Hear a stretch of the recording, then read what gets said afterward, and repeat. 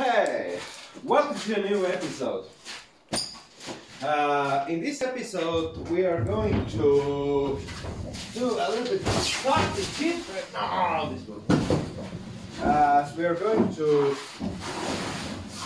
build uh, a tool that I started like maybe four, five, six years ago. But now it's time to complete it and set it to use. It will be a foam cutting machine so I can uh, cut straight lines into a foam. Uh, the most important part is I built this uh, step down voltage regulator uh, what's it input uh, 220 AC and output is 9.5 volts at 4 amps and I have some wire also. It's uh, nickel chromium copper wire. At least I printed it this on. And yeah now we can use this. It's quite heavy. And we can use it for the build. But now off for the building part. We need to build a table a cutting head and mount it all up, electrify it and see if it works. So stay tuned and have fun!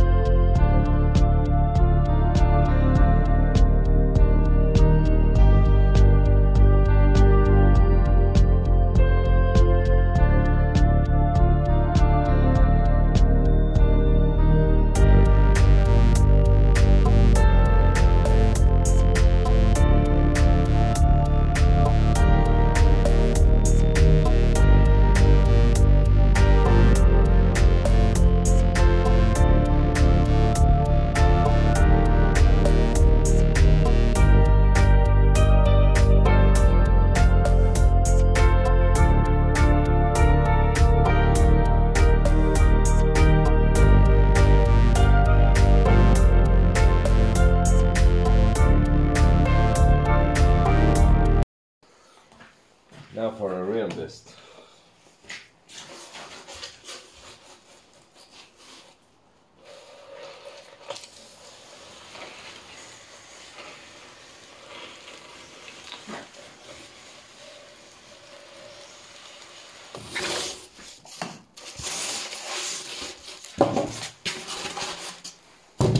It's square. Ha! Yes. This is nice. I love this. This works as intended. Woohoo! Job well done.